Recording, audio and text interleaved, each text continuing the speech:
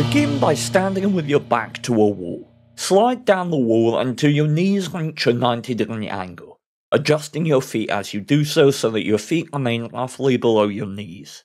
Hold this position, breathing normally and facing straight ahead with your arms in a neutral position.